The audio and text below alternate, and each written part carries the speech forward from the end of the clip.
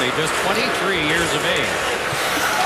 But he's had the Penguins number in the rare times they've played. That's a heavy hit by Ovechkin. Getting back to his feet as Michalek, who got the number. And Ovechkin is there, met by Michalek, with Neal involved.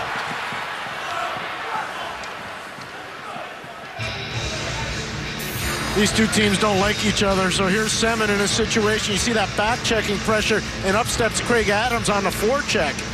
And here's Ovechkin right into Zbynek Michalek. Should have been a penalty. Should have been. He feet. left his feet. Absolutely agree with you. And the Penguins bench is letting the officials know it, too. Unless I miss my guess, there's tape of this game, too. and they do sometimes examine that. And you learn after the fact. Three.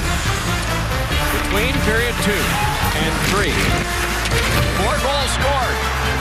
28 shots taken, 14 aside, even at two.